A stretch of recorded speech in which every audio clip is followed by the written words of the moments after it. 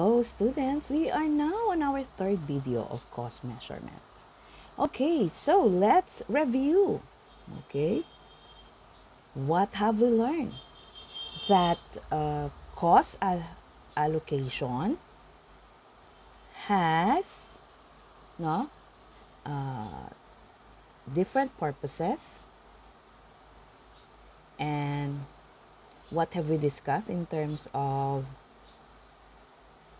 the purpose of allocation that it provides information eh, to facilitate economic decisions okay and why have we mentioned uh, variances responsibility accounting this is to motivate no? your managers and your employees no?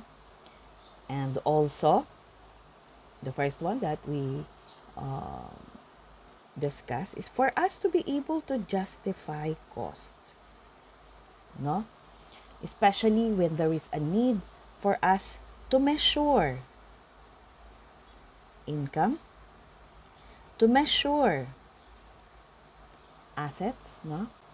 At in, in meeting the the the external uh, demand no with the, the, the regulatory and the legal reporting obligations.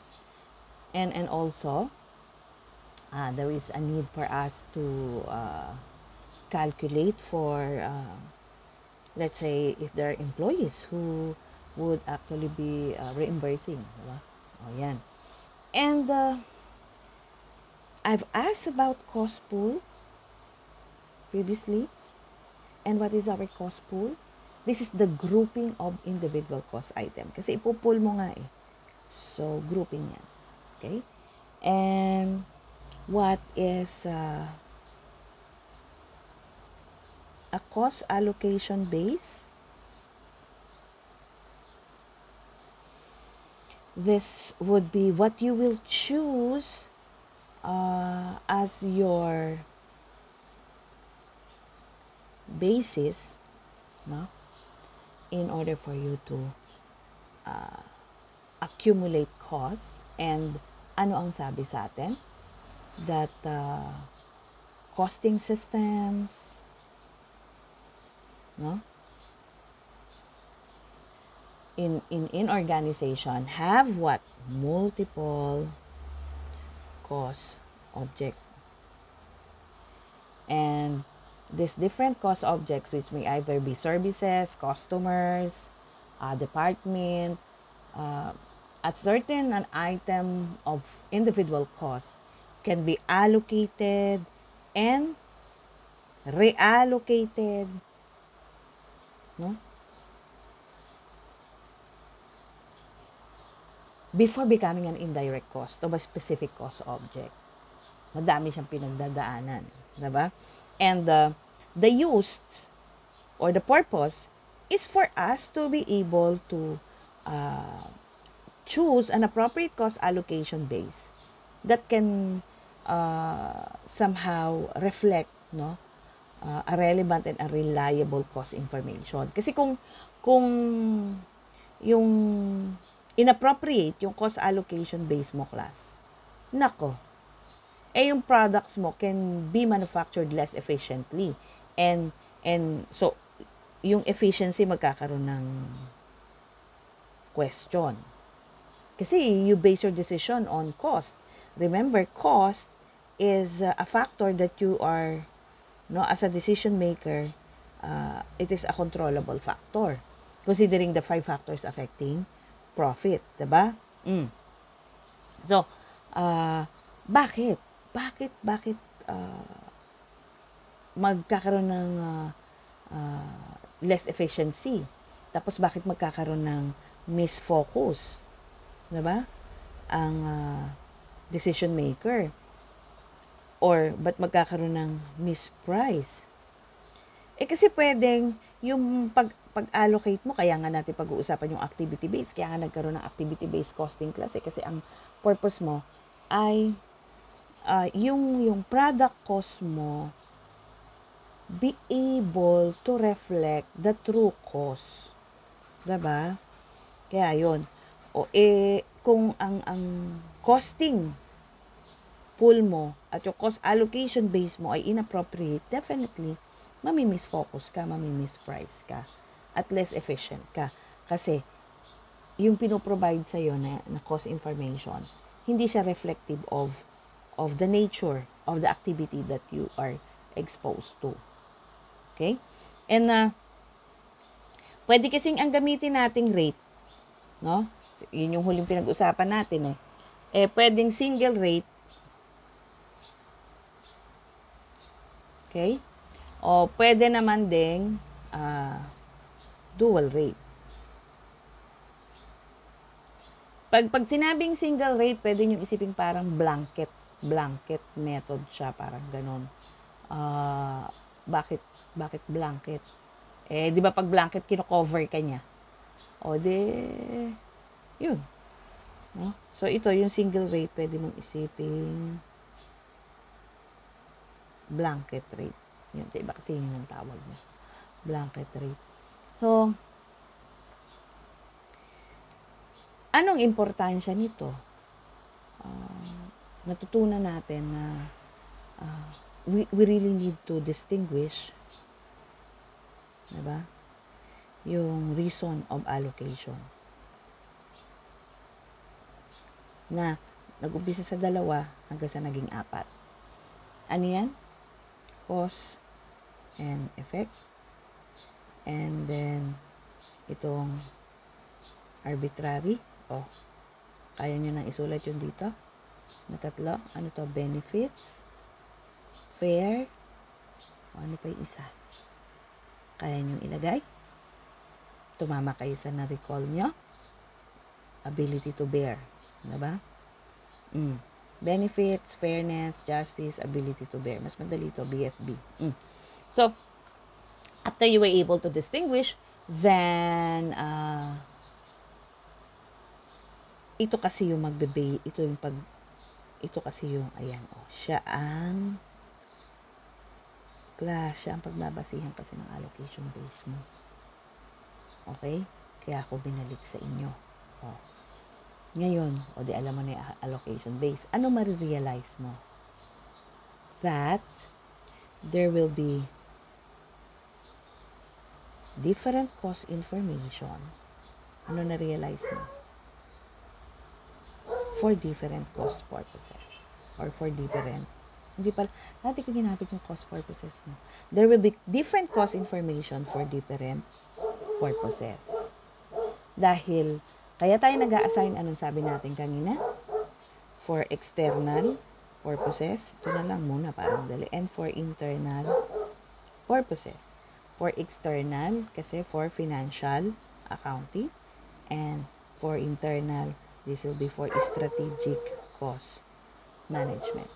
Because we need, but the common for this too would be there is a need for us to measure uh, inventory.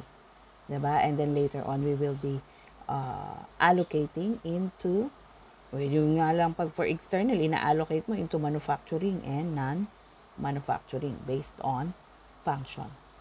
And the decision on the cost system is based on what? No? It will it will differ in terms of the level of sophistication. Okay? Ma'am, ano ibig mong sabihin ng level of sophistication? Eh, depende kung yung system mo ay simple ba o medyo complex.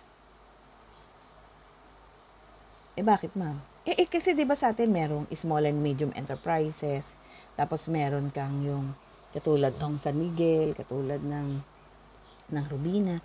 Eh they are a conglomerate o di complex yung ano nila, yung yung kanilang uh, information system uh, activities. So definitely uh, the choice of the costing system will be affected by the level of sophistication of the uh, activities of the organization. And besides, the more sophisticated the systems are, the higher the cost to operate. 'di ba? And pag complex, mas ang ginagamit natin dito yung cause and effect. Kasi pag, pag highly sophisticated, ay naku, kailangan para mas madali mong ma-justify, di ba? Di cause and effect ang gagamitin mo. In order for you to generate re- report no, a more accurate cost information. Ganun yan ah. Yan. And, and, and, and so, lower ang cost of error mo dyan. Kapag ka, syempre, ang ginamit mo, cause and effect basis. Okay? And, sometimes, uh, kasi di ba kanina pinag-usapan natin, are we going to use a two-stage? Kasi, pwede kasing two stages ang allocation nyo klase. Pag, pagka sinabi yung plant-wide, or blanket rate, or single rate, eh first stage lang yon ng allocation, no? And remember, pag cause and effect, ano na to? Driver na to, class. Mas, mas may effect diyan ang driver, cost driver. So, yung pag, pagka highly sophisticated, then, uh, marami kang, ano, marami kang, uh, you have, have, uh, uh, you use many first stage cost pool and you use different types of, of, uh, yan, cost pools and you use uh, different types of driver. Kaya, mm, nagkakaroon uli tayo na, di-discuss natin talaga din uli-uli yung cost object sa cost driver kasi madami pa din sa inyong nalilito doon. Okay? Lalo na sa cost object. So anong anong magiging sa ano yung masasabi natin sa costing system or sa cost system? Ano yung optimal? O di yun. Kasi class napaka-importante ng pagpili ng costing system. Ano yung optimal na costing system?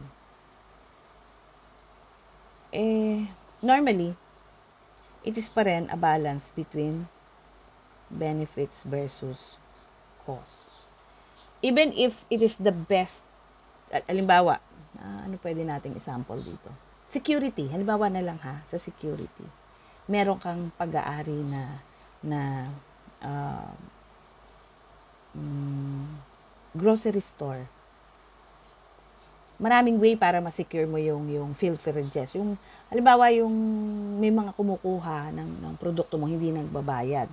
O let's say, ang, ang nawawala sa'yo, ang loss mo dahil dun sa mga kumukuha ng mga grocery ay halagang 100,000, then dapat yung best system mo is would not go beyond the 100,000. Ano yung mga option mo? Pwedeng ang gamitin mo bawat aisle, lagyan mo ng security guard or yung magbabantay. Pwede rin namang, uh, halimbawa, pag ginamit mo yon ang, ang gagastusin mo doon, mga 70,000 yung may magbabantay, no? May security uh, personnel. O kaya mag-install ka pa ng uh, maraming camera. 'Di ba? Eh ang gagastusin mo doon 100,000. O kaya naman a combination, no? ng security at saka ng camera. Ang gagamitin mo doon 120 uh, 150,000. Eh pinakamaganda combination ng security at camera. Pero class pag tiningnan mo naman yung yung cost nito, of implementing the new system. Ano pipiliin mo? De ito na lang ano, 70,000, no? Kasi ang maximum benefit lang na makukuha mo ay yung what you have lost, which is 100,000. Ito kasi yung loss due to uh, hindi hindi nababayaran dahil doon sa mga uh, kum, alam mo yun, nagpapalusot eh di, ito na yun, di ba? Ito yung best case scenario. Kahit na, mas magandang i-combine mo yung camera at ano, eh, eh, yung gagastusin mo naman para makuha mo, para mawala ito o ma-minimize yung 100,000, 150. Okay? So, yun yung sinasabi class na balancing between benefit and cost. Because a simplistic costing system will be appropriate with, no? This will be appropriate to organization whose indirect cost is of low percentage. No? So, pag low ang percentage ng uh, indirect cost sa product mo and a fairly standardized standardized yan yung product range mo no and it is all consuming your resources in similar proportion then yun ang gagamitin natin. So, uh, ano yung simplistic? Eh, pwede mo gamitin yan yung single rate lang. Kailan to? Low percentage ang indirect cost, uh, yung fairly fairly standardized yung product range mo tapos uh, yung pag-consume mo ng organizational resources is uh, in similar proportion kasi pag pag hindi ito yung nature class, then, then it, would be the other way around. Di ba? Siyempre, pag, pag alam mo na yung isa, de, yun na yun, dalawa lang naman pagpipilian yung class, naku, pinaghihirapan niyo yung sarili niyo, di ba? O, simple o hindi simple. alam niyo na may sitwasyon, pagka yung kondisyon para siya ay masabing simple. Kaya pag, pag high proportion ng indirect cost, Kapag uh, ang product mo ay uh, in different proportion ng consumption ng resources, eh, syempre, gagamitin mo na sophisticated costing system. Okay? Uh, although, pag sophisticated costing system kasi under these circumstances, you could be able to uh, report uh, a more accurate cost. Kasi anong ginagamit natin pag sophisticated? Cause and effect. Diba? Yan. So you choose between simplistic and sophisticated. And and and most often than not, ang challenge kasi pag sa product cost would be your overhead. No, yung pag at saka yung pag uh, assign ng service department ko sa product kasi nakinabang naman yung produkto doon sa service department. Eh ma'am, ano ba yung mga sample ng service department? Nako, yung mga makina mo ba, walang magme-maintain nun? O, service department yun. Eh, kaya lang yung service department na to, eh, nakikinabang din naman yung hindi, hindi nagpo-produce. Yung nandun sa, sa selling area, gano'n, nasa, o oh, kaya yun. Kaya, you, you need to, to really, uh, somehow, allocate. Diba? So, ano ang, uh, in, in, in, uh, closing, ano ang uh, masasabi natin? That uh, allocation no, is really crucial for us to have what? Uh, crucial ang cost allocation as part of uh, cost measurement and and uh, cost allocation is part of cost assignment, 'di ba? Based dun sa drawing natin. Na drawing na tayo. And uh, what I would like you to include here as our uh, experience point would be uh, kasi pinag-usapan natin yung service department cost allocation, yung tatlo. Tapos, we talk about uh, common cost, no? E kaya lang, yung joint cost, ano nga ba ito?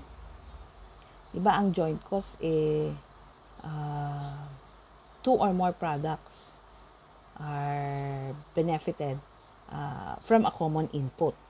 'Di ba? O eh paano natin ma-approximate yung benefit ng dalawang product. Ito yung input, may lumabas na product 1 tapos may lumabas na product 2. O ano ang pwede nyo gamitin dyan na method. Diba? Okay. So, that's your experience point. So, thank you very much for listening. No? Uh, we'll have uh, our next video which would relate to the costing methods. This is our discussion, the last video for costing system. Okay, thank you and keep safe.